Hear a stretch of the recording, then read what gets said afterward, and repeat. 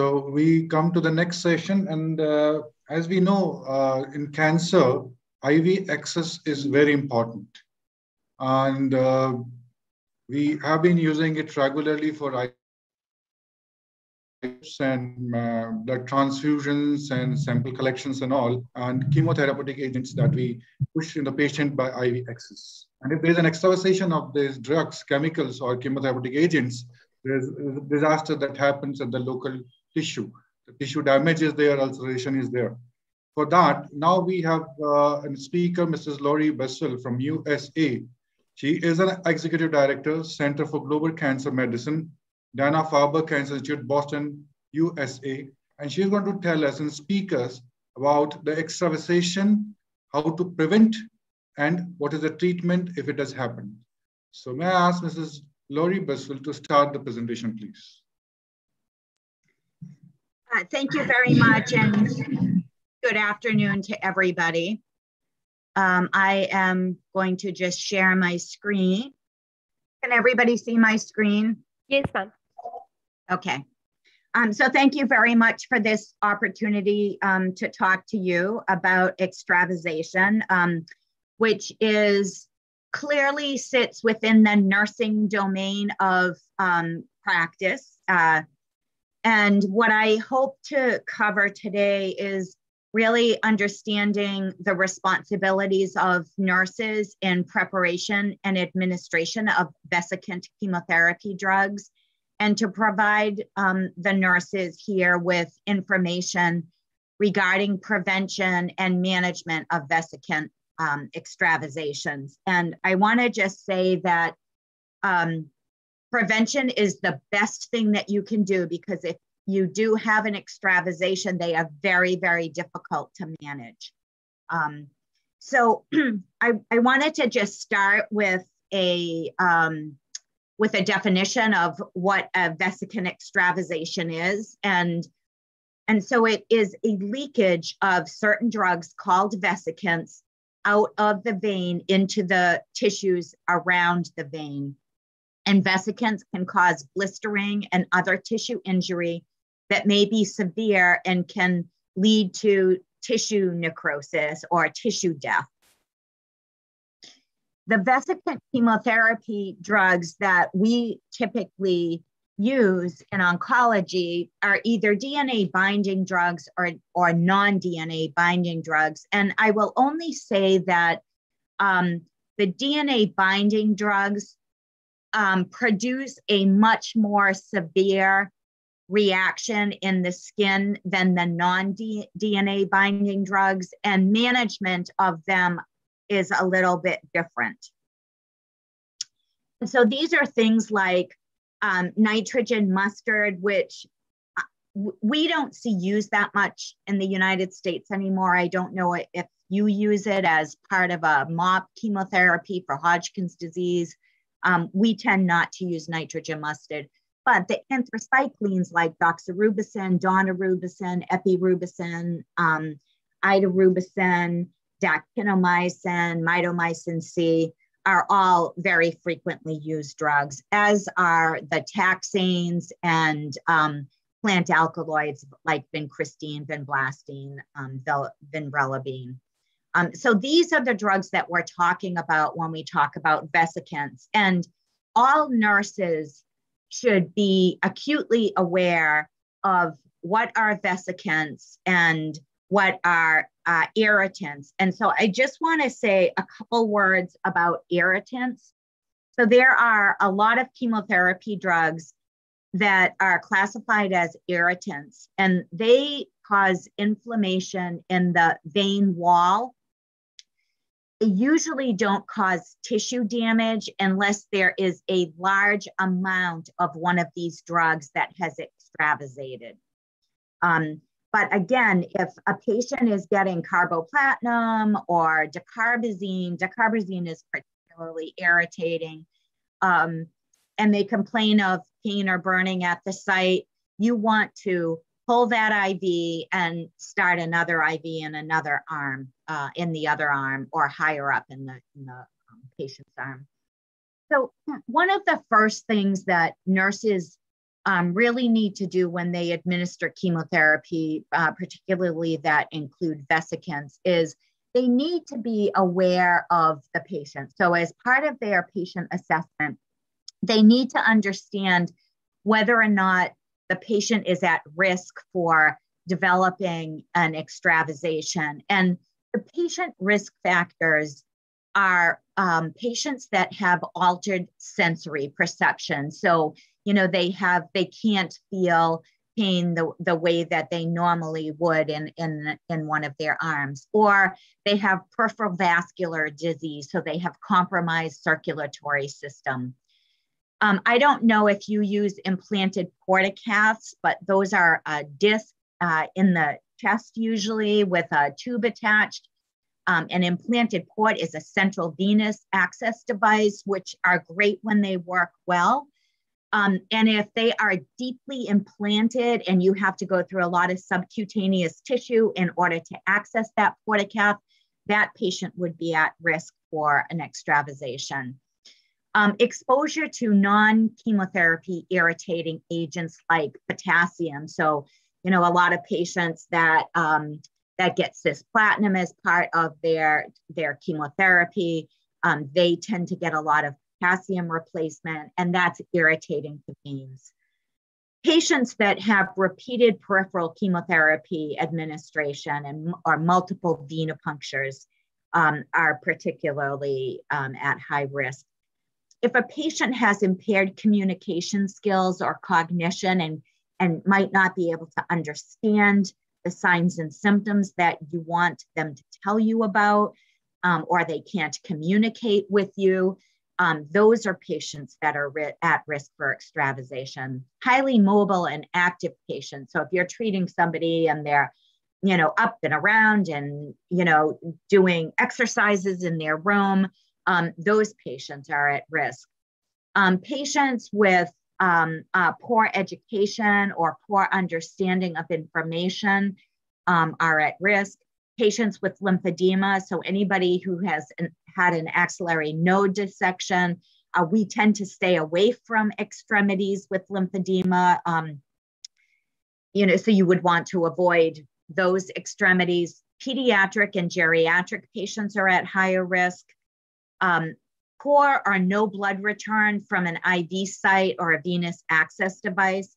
If you don't have a blood return, those devices should not be used unless in the case of a venous access device, a central venous access, you get a dye study to confirm patency and placement. Patients that have poor venous access, if a patient comes in, you know, once every two or three weeks for chemotherapy and it takes five tries to get an IV in that patient, that's a patient that you as a nurse would want to highly advocate that they get a central venous catheter, central line access um, it's just, it's not fair to the patient. It's not fair to put them at risk. Patients that are obese and you're using uh, peripheral IV, uh, peripheral IVs to give your chemotherapy, and they have deep veins, those patients are also at risk, as well as uh, patients that have small or fragile veins, and we often see this in elderly patients. Um, and then obviously treatment duration, the longer somebody is on chemotherapy treatment, the higher risk they are uh, for extravasation. So, really important as a nurse when you meet a patient that is going to be getting a vesicant, you know, say it's ABVD and um, the doxorubicin and the vinblastine are vesicants, and the and the um, is a high is a highly irritant. And if they come in and on the first week you have trouble getting an IV in them, that's when you want to call the doctor and say, look, they need 11 more of these treatments and I, we're not going to be able to give their treatment. So um, central venous access devices are very good for patients who are going to get a lot of vesicant treatment. There are also some nurse related risk factors, and those include somebody who is has extensive experience with vesicants and begins to be overconfident in their ability to, to give it. Sometimes um, their overconfidence leads them um, to have extravasations. Failure to identify patients at risk. So, all those factors that we just went over, you know, if a nurse doesn't do a good ex- uh, um, assessment and um, you know misses some of those risk factors you know that that's really a nursing responsibility um, improper venipuncture technique improper vesicant administration technique inexperience with giving vesicants you know not even knowing what the vesicants are is, is a risk factor you know so n- nurses need to be well educated oriented um, if uh, a vesicant administration is interrupted because the nurse has you know six other patients and somebody's vomiting and she has to leave the bedside giving a vesicant to tend to somebody else um, the iv site selection so we never want to choose um, the dorsum of the hand or the wrist area or the antecubital area for our, our IV when we are giving a vesicant lack of time and lack of training have also been identified as risk factors related to the nurse.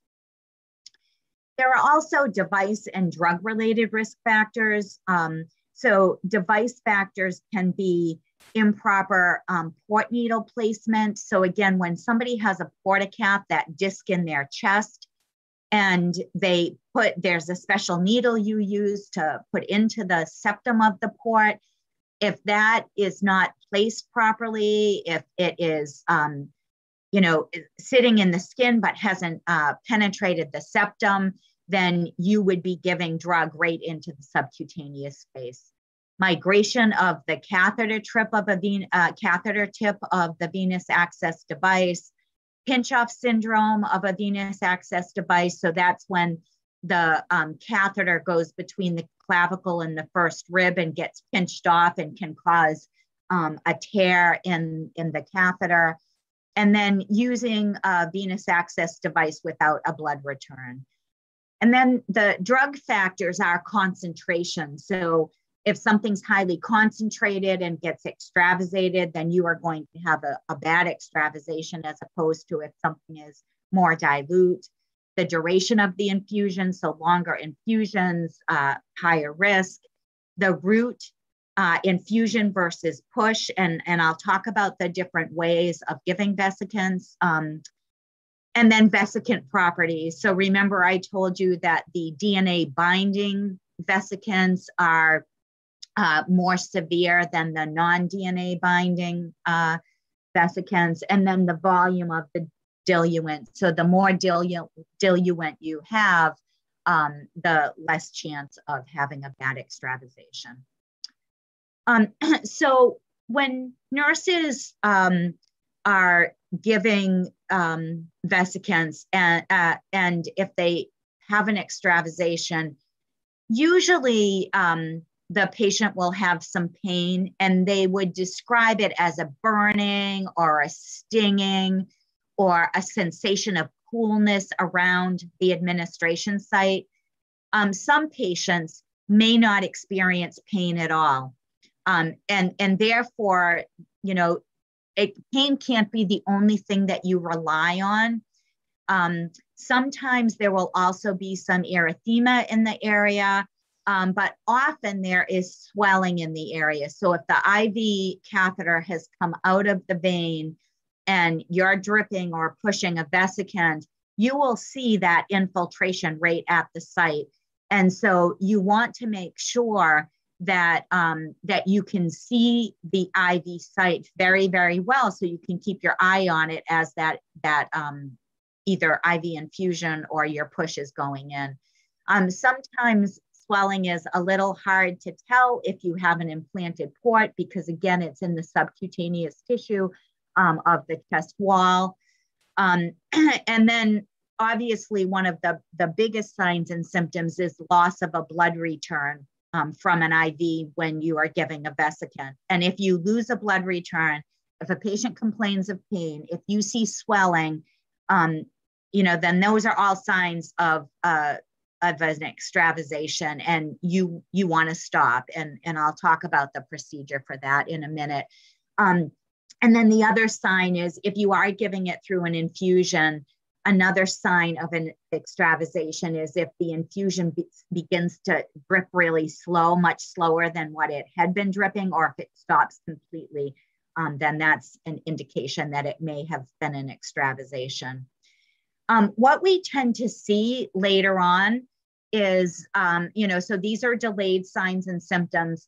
So in the area where the extravasation occurred, um, you will um, you will see ulcerations and and if they're not treated with an antidote. And I'm going to talk about um, the antidotes in a few minutes. But you'll see blistering of the skin, discoloration of the skin, induration.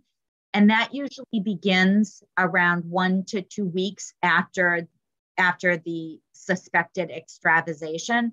So you need to be, you need to instruct your patient about those things.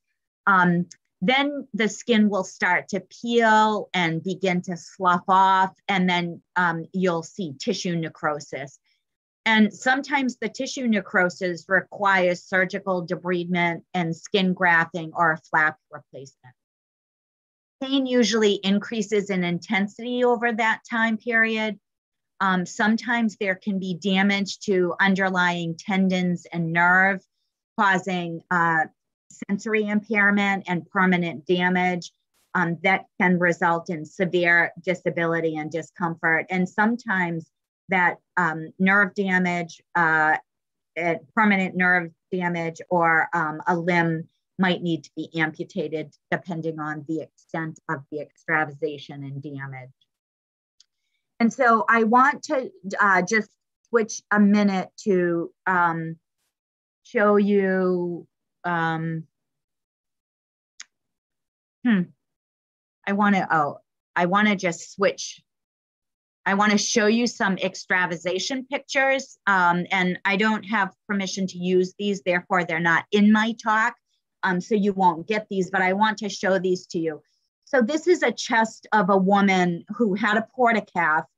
And um, this was uh, a, a, a week or so after she had an extravasation. So the date of this was February 14th. Okay. And this is what it looked like. So you can see the redness um, of the area. Um, and then you can see 14 days later, the area is um, much more red, beginning to blister and peel. And then what you see is on March 18th, so, you know, about three weeks later, that site had to have surgical debridement. Um, and then you can see uh, June 5th, so now several months later, um, it, granulation tissue forming around that and beginning to heal. And then you see um, in December, so remember the first um, the extravasation happened in February. So 10 months after the extravasation, the area is healed, but you can see um, the damage that this has caused um, in her subcutaneous tissue and skin.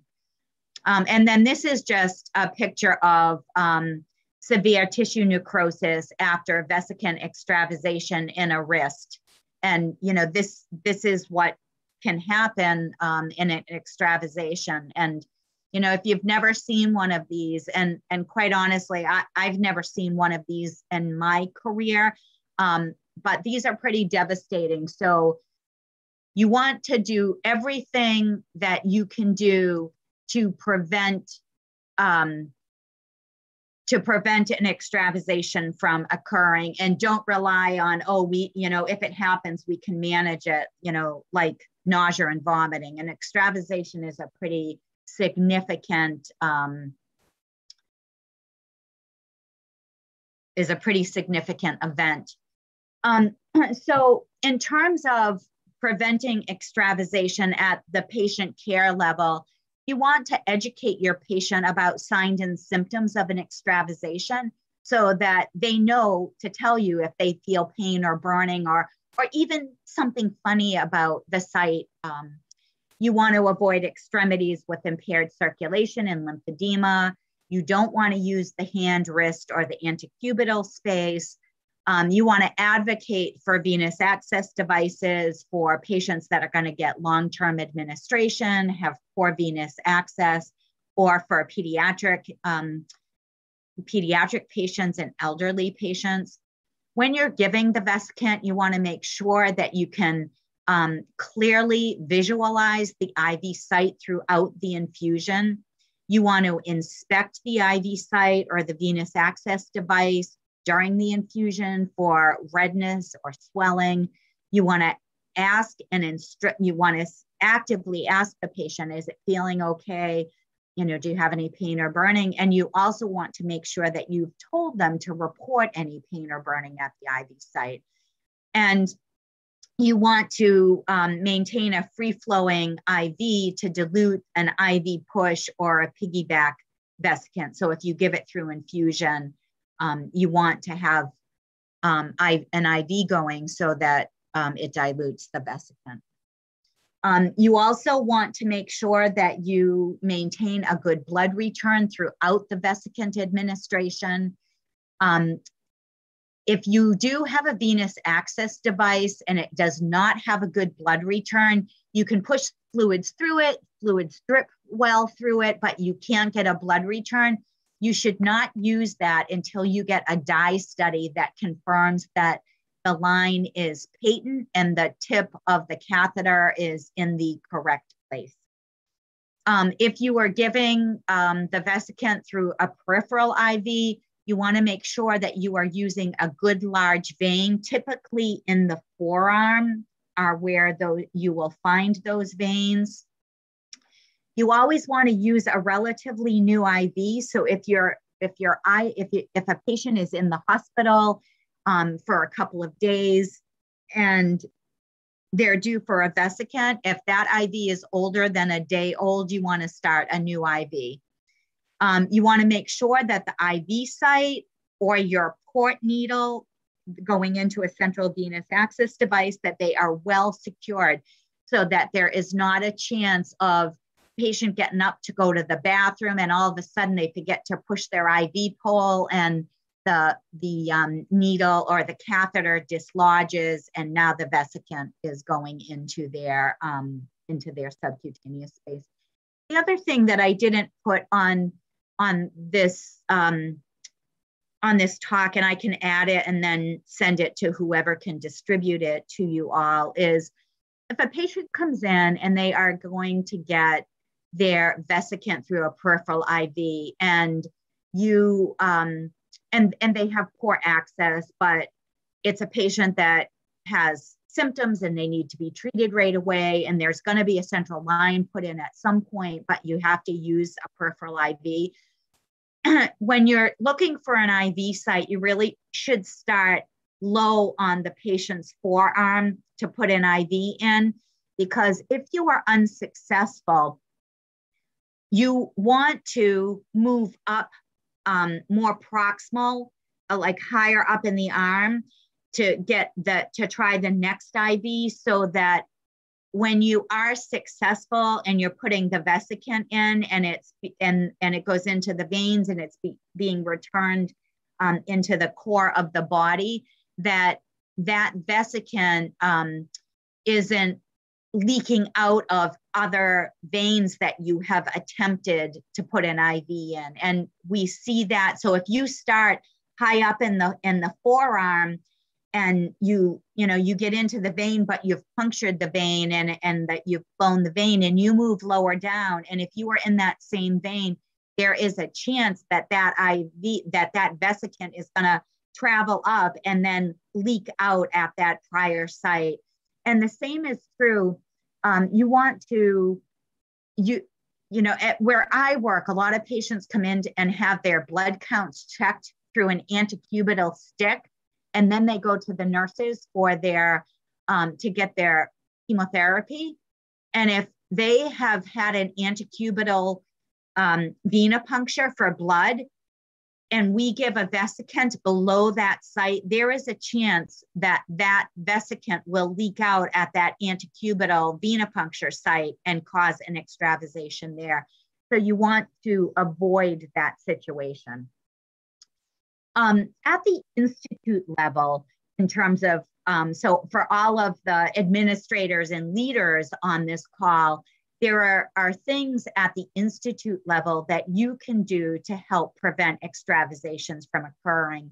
And those are things like making sure that when you hire new nurses to work in your oncology unit, that there is a training course for them if they have never worked in oncology before. And even if they have, um, you want to make sure that they know your policies and procedures and standard operating procedures for giving vesicants and, and everything else included in being an oncology nurse.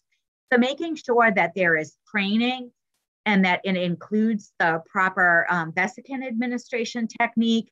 And that's not just telling them what it is and then expecting that they can do it, but it should include clinical competency observation so that somebody who is teaching them is sitting right beside them, um, giving vesicants and instructing them and um, telling them what to do as they're doing it. And it, it can even include practicing um, on um, companies make these ar- fake arms where you can put an IV in and you can start the IV and you can get practice pushing drugs so that you you know it's a manual dexterity um, skill also and handling the syringe and the iv and checking for a blood return. So you can even um, institute something like that um, in like a simulation lab to train new nurses. You should have um, an approved standard operating procedure for vesicant administration that outlines step by step what it what the proper technique is and then even after you have trained nurses, um, you can institute an annual competency um, observation to, to validate that your nursing practice hasn't degraded in any way over time. And then the other thing that is really important is to monitor extravasation rates for potential spikes in your numbers. And the way that you would do this is um, you would ask help from pharmacy to let them know in a given month how many vesicants were dispensed from the pharmacy. And then you would want to have a system that all extravasations that occur are reported. Um, and I'm going to talk about this in a minute uh, when I talk about documentation, but you may want to consider having a special form that gets filled out if uh, extravasation, if a suspected extravasation occurs. And you can use those forms, those reports, as a way to monitor what your extravasation rate is. And, you know, some extravasations, quite honestly, are very hard to prevent. Um, you know, if there's a venous access device malfunction, like in the case of the picture that I showed you, that was a case where um, there was a, a leak in the catheter and nobody could have seen that. A nurse could not have prevented that. Um, but you would want to monitor the rates and make sure that they stay at a very low level. And, and again, you know, the, these are institutional leadership administration level um, things that can be done to prevent extravasations. So, so if you, if the nurse is going to give um, a vesicant by a peripheral IV, you would never want to use a pump because pumps put pressure on the vein. So you just want to use a free flowing IV. You want to stay with the, the patient the um, entire time if you are giving it over a short infusion. And short infusions should not be any longer than 30 to 60 minutes. Um, when um, so you so the only way you want to give a vesicant is through either IV push or a short infusion through a peripheral IV. Um, when you are giving the vesicant, either way, you want to verify, verify a blood return every two to five milliliters for an IV push. um, and every 10, five to 10 minutes if it's a short infusion. And again, you want to stay there and you want to monitor um, closely for any signs and symptoms of an extravasation. Um, vesicants through a central venous access device, you can either push those, you know, with a with a syringe. Um, you can either give it as a short infusion over 30 to 60 minutes, um, or as a continuous infusion. And there are several uh, protocols for diseases that we treat, like sarcoma um, or um, multiple myeloma, that require vesicants to be given over a continuous infusion. Um, you want, again, to verify, verify your blood re return before, during, and after. Um, you want to monitor the site throughout the infusion according to your institutional policy. You know, at my hospital, we check if somebody has a continuous infusion, we check the blood return two times a shift, and we have um, three shifts a, in a 24 hour period. So that gets checked six times in 24 hours. And then again, if there is any sign or symptom of an extravasation, you discontinue the vesicant administration. So if you're going to give the vesicant through with an IV push method, there are two different ways of giving an IV push vesicant. There's a direct push method. And what this is, is you have an IV, you verify that you have a blood return, you have a, a syringe with saline flush, you flush it, you detach the syringe, and you attach the syringe with the drug in it. And then you would push the drug directly into the IV catheter. You would push it slowly. You would aspirate for a blood return every two to five mLs. Once it is you're done pushing the entire drug, you would discontinue the drug syringe you would attach a flush syringe, you would flush it through, and then after you flush it, you would either cap the IV site or discontinue the drug.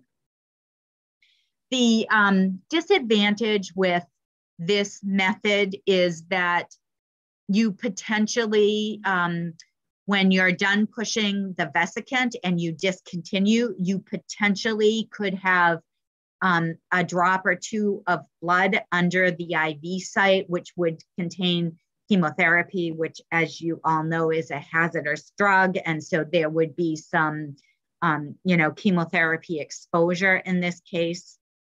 The other method, which is the method that we use at the hospital where I work and how I was taught, is IV push through a free flow method. And this also is called like a side arm technique. And so you would have a running IV into the patient, a normal saline or compatible solution, depending on what your drug is. And you would have that, you know, dripping in at a slow rate. You would um, attach the syringe at the at a Y site closest to the patient. You would aspirate to verify that you have a blood return and then you would um, allow the IV solution to um, flow freely, and then you slowly administer the chemotherapy agent as a push, allowing the IV solution to dilute the drug. You administer that at a rate of about one to two mLs per minute, unless there is a um, an, another indication. Um, if you are giving something like CHOP chemotherapy, where you have doxorubicin and vincristine, you want to make sure that you flush the line in between those two chemotherapy drugs and that you flush the line, um, that you check for a blood return and you flush the line after you're done. Um, you know, as you might imagine, um, giving vesicants is a much more timely activity for nurses, a time consuming activity for nurses than it is to simply hang a bag of cyclophosphamide and let it drip in, and the nurse can go about um, other activities. Um, so having having enough nurses and them having the time to give vesicants is really important. Um, I talked a little bit about uh, continuous infusion vesicants, and I just want to say again that central venous access device um, administration is highly preferred, um, much lower chance of an extravasation happening with a central venous access device than with a peripheral IV. Um, and, and so when this happens, you want to check the blood return and IV patency according to the institutional policy. And this is where I said that at my institution that happens um, six times in a 24 hour period. You would connect the IV, um, the drug directly to the IV access device or piggyback it into um, a main line. If you do do a piggyback, you want to make sure that all of the lines are very secure with luer locks um, or a similar device. Yeah, uh, you uh, want to interrupt you because we are behind uh, now. So okay, I'm sorry. to conclude, please. Um, yep. So let me just say um, uh, that I will go really quickly. If an extravasation happens, you want to stop the infusion immediately. You do not want to flush the line. You want to discontinue, dis, um, disconnect the tubing, and you want to take a syringe and aspirate as much of the agent as possible from the existing access device and then remove that catheter or port needle. You want to then notify the provider of an of the possible extravasation. You with the provider, um, you can determine if an antidote can be administered. Um, you want to measure and document the area, and if possible, take pictures of it with a date and time. You want to, depending on the agent, you want to apply warm or cold compresses for 15 minutes every four hours for the first couple of days. For the plant alkaloids, you want to use warm packs for alkylating agents, anthracyclines, and antibiotics. Want to use cold packs. Elevate the extremity.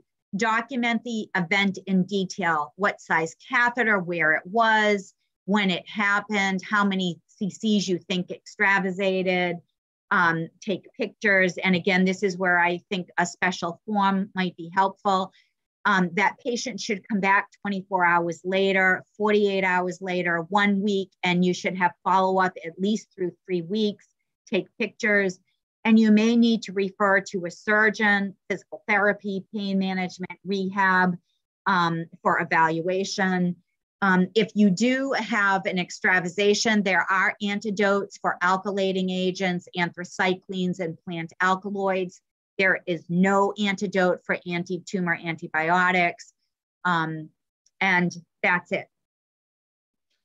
Uh, thank you very much for very nice presentation. And I'll uh, congratulate you for giving us the practical tips uh, for evaluation and management of extravasation of chemotherapeutic drugs. Thank you very much, Dr.